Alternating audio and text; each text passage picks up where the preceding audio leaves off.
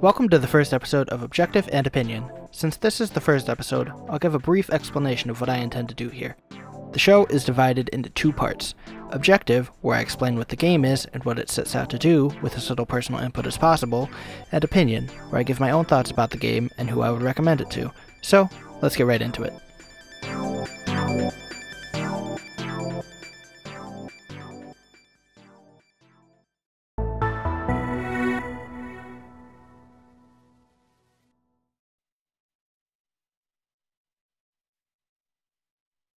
percent オレンジジュース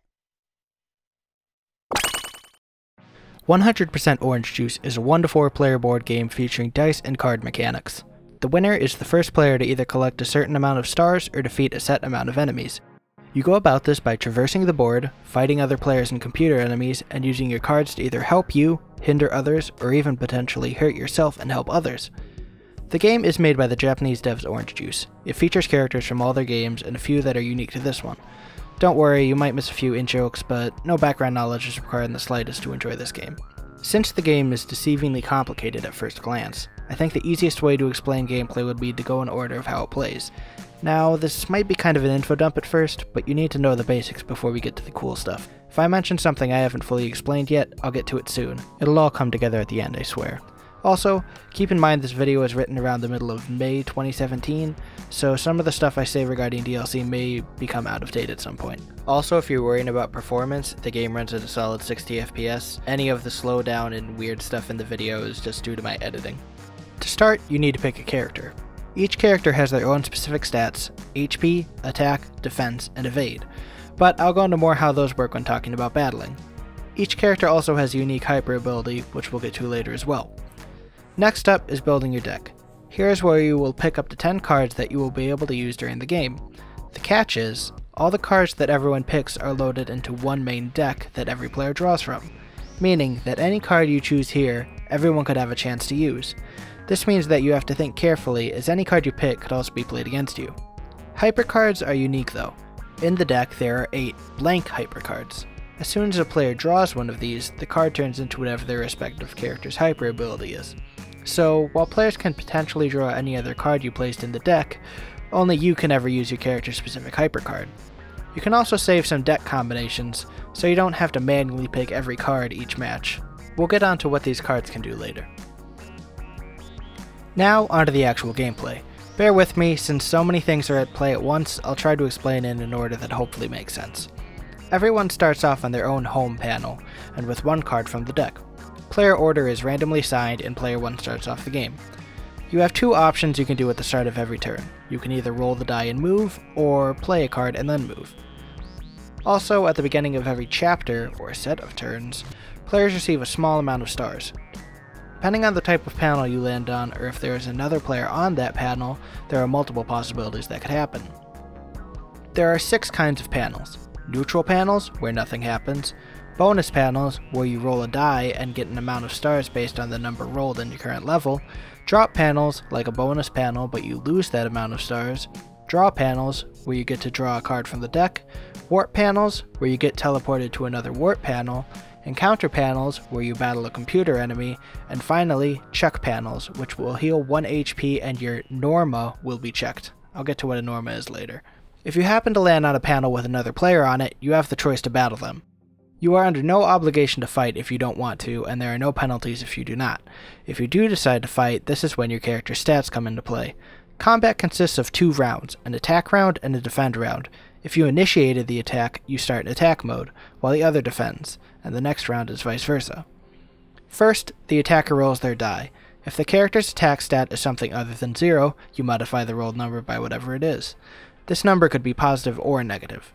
The defender then has two options to pick from. They can either defend or evade. If they choose to defend, as long as they roll a number that's the same or higher than the number the attacker rolled, they will only take one damage. If they roll lower than the attacker's number, then they take the difference between the two as damage. If the defender decides to evade and they roll a number higher than the attacker, they negate the attack and don't take any damage at all. If they roll the same or lower number though, then they take the full amount of the attacker's roll as damage. Just like how the attacker's roll was modified by their attack stat, some characters' defense and evade stats are different too, so those would have to be taken into account as well. If neither character loses all their HP, then gameplay returns to the board and continues as normal. If one character loses all their HP, they are knocked out and whoever won steals a portion of the defeated player's stars. The winner also gains a win. When the knocked out player's turn happens during the board portion of the game, they need to roll their recovery number or higher to revive and continue playing. This number decreases by 1 each turn. If they manage to fail the roll after the recovery number reaches 2, they will be automatically revived the next turn. The other situation a battle could happen is if you land on an encounter panel. This will summon a random NPC enemy for you to fight. After the fight, regardless if the enemy was knocked out or not, they disappear. However, sometimes the encounter panels change to a boss panel. Instead of a random enemy, anyone who lands on the boss panel will fight the boss character assigned to the board. Unlike the regular enemies, this one doesn't disappear until it dies. Anyone defeated by this enemy will have a portion of their stars absorbed by the boss. Whoever ends up defeating the boss will then gain all those stars. So if you're able to pick when you fight the boss, you can get rewarded with a ton of stars if others have failed before you. Alright, now to actually explain how to go about winning. To win a game, you have to reach level 5 and complete your last Norma. You start at level 1 and you gain a level each time you complete a Norma. A Norma is basically your current objective. There are two kinds of Norma. The first is having a certain amount of stars in your possession, and the other is having won enough battles against enemies or players. The first Norma for everyone is to collect at least 10 stars. To actually turn in and complete a Norma, you have to land on a check panel, or a home panel, your home panel is where you start, and you heal 1 HP if you land on anybody's home panel. It's easier to land on your own home panel than someone else's because it gives you the option of stopping at your own panel no matter what number you rolled, so you can't get stuck overshooting your own panel all the time.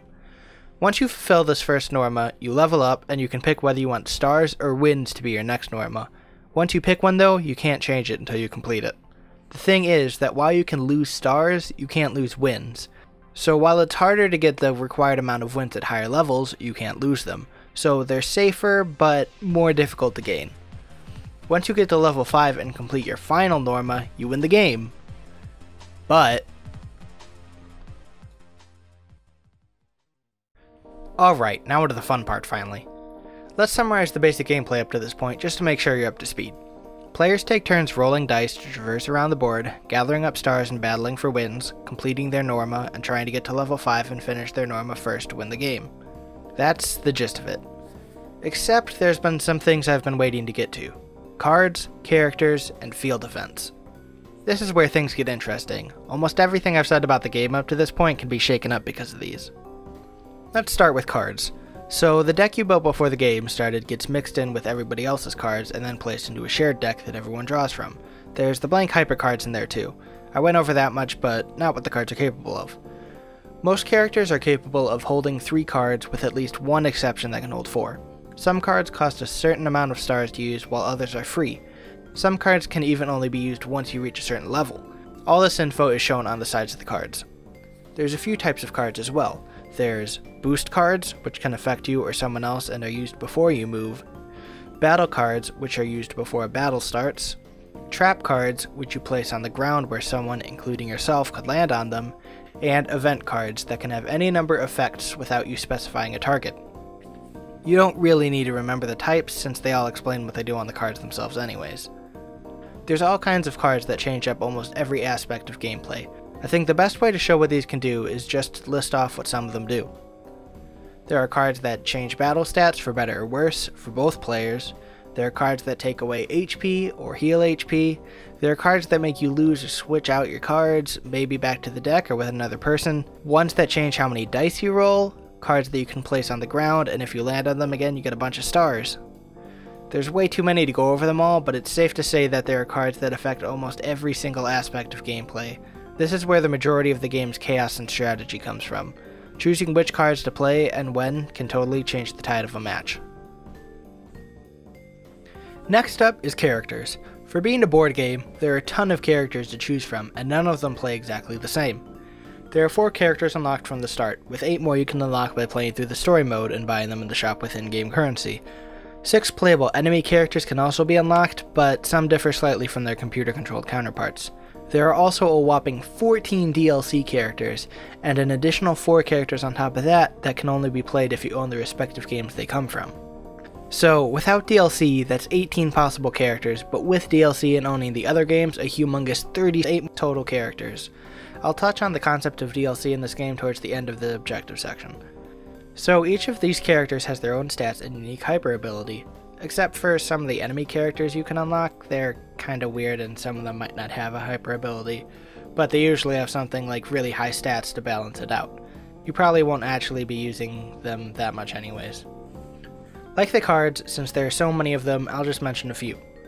QP, one of the starting characters, has a hyper card that can be played before a battle that adds plus 2 attack, and if you get knocked out during the battle, you won't lose any stars and you will revive automatically on the next turn. Basically, a nice free pass for a battle if it doesn't look like it's going your way. Suguri, another possible starting character, has a hyper card that lets them roll 2 dice for every roll during that chapter, so for movement, battle, bonus, and drop panels, you get to roll two dice instead of one. Sora, an unlockable character, also has a dice-based one, which automatically rolls a 6 for everything for a chapter.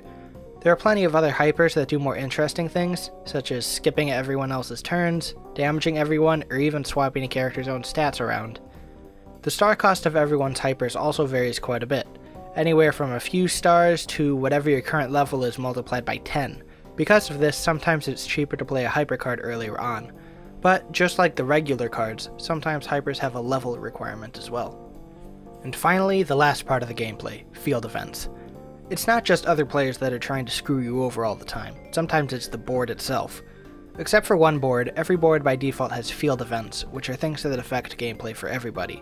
They generally happen every so many chapters and range from healing everyone for 1 HP to even getting a free card, or even changing up what the home panels are. They're not always positive or neutral though. Sometimes everyone takes one damage, or it converts all the bonus and drop panels into encounter panels instead. There's even one called Mystery, which will play a different field event every 5 chapters. When you're playing a free play match though, you can turn these on and off at your own whim, with up to 3 being allowed per match. Alright, that's finally the end of the gameplay section. Let's go on to what the different modes, customization, and DLC are on offer. There are two main modes of play, one being the story mode and the other being free play. Story mode is where you play through a predefined set of boards with specific characters and a fairly light story. You need to play through this to unlock the other base characters in the game. There are multiple difficulties to choose from as well. The other is free play, which you can play by yourself against three AI opponents or with up to three online players. No matter what, there are always four players though. Anyone who is not being played by a real person will be filled by AI. In free play, you can pick any board with any set of field events you want. When you play online, while in the lobby, you can see everyone's customized avatar, level, and number of online match wins. Also, regarding online, in multiplayer every turn has a 60 second limit, and if a player doesn't do something by then, the AI moves for them, and if someone fails to act three times, they get kicked out and fully replaced by AI. As you play through the game, you gain stars, which are the in-game currency for buying new things, such as characters or palette swaps and accessories to customize how your characters look. You can also buy new boards to use in free play. If you put the stars into it, you can unlock up to a 30% discount for everything in the shop as well. This is also where you buy card packs.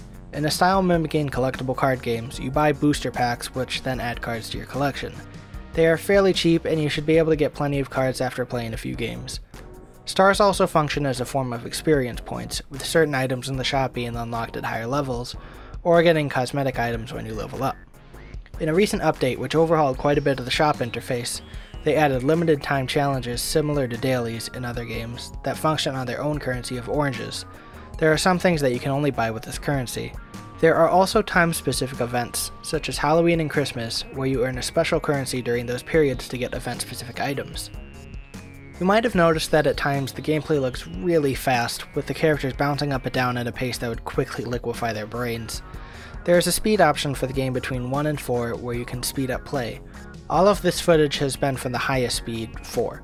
Once you understand the basics of the game, playing at max speed is easy and substantially speeds up play as it quickens all the animations. During story mode, you can also hold down the control button to speed it up to max speed if you only want to speed it up at certain times while keeping the default speed lower. Now to finally talk about the DLC. So as I mentioned before, there are 14 DLC characters as well as 4 characters that are locked behind owning entirely different games. There are also two card booster packs that add new cards to the game, as well as one cosmetic pack. The character DLC packs are split into groups of two for a total of 8 character DLC packs. One of these character DLC packs also includes two new story campaigns starring each of the characters in the pack. The four characters that are locked behind owning entirely separate games are variants on characters that already exist in the game. They do have their own stats and hypers though. The card booster packs function in the same way as they do in the base game. Buying the booster DLCs doesn't give you all the cards in the pack immediately, it just unlocks them for purchase. You need to use the in-game currency to actually buy the card packs. There is a very important thing to note regarding DLC and playing online though. Since the deck is shared between players, everyone will always have access to the DLC cards if someone picked them, creating a level playing field. However, more important is if you join a match in progress. If you join an online match that is already in progress, you cannot pick your own character. You will just randomly fill in one of the AI slots. This means that if you are joining the game in progress, it is possible that you can play as one of the DLC characters. This is good because it means you aren't limited to what lobbies you can join. However, once the match ends, if you stay in the lobby, you will only be able to pick from the characters you personally have unlocked, obviously. And finally, that draws the objective section to a close. Alright, I gotta be honest. I love this game.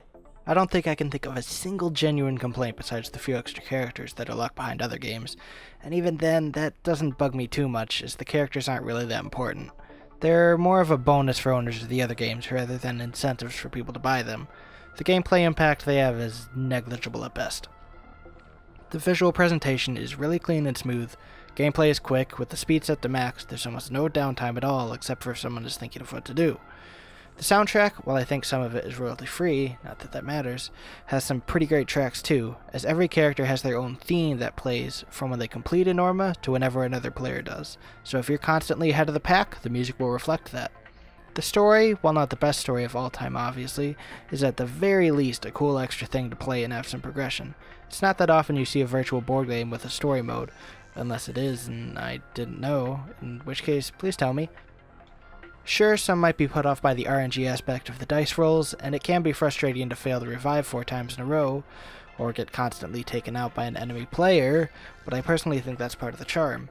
It's a board game that would be a huge pain to play if it was an actual board game. I know, I've tried. Someone made a version of it for Tabletop Simulator. It would probably take forever to actually finish, even if you had all the calculators for the stars and the character customization options you get, while fairly basic, are a great little addition to make your characters feel unique. I also really love some of the weird titles and quotes on some of the cards.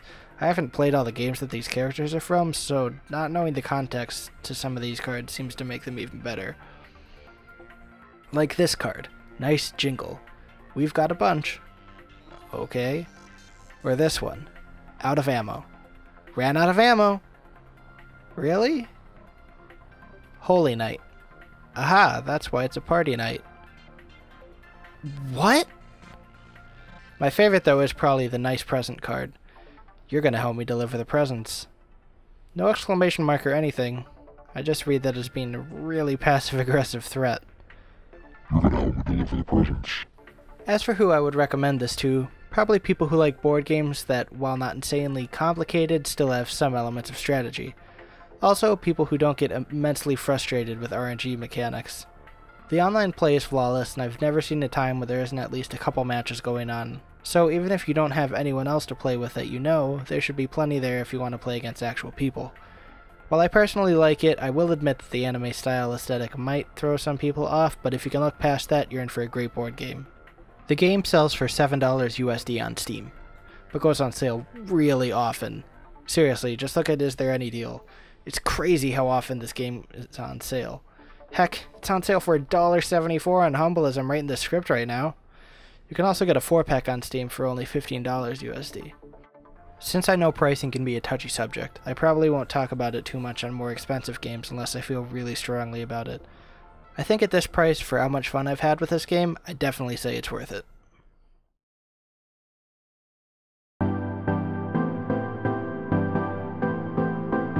If you actually made it this far, thank you.